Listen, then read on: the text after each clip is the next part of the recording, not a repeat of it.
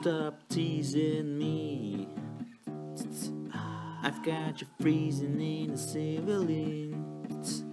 You are the only son waiting on the back room on the second flat room. You've been in a rest down.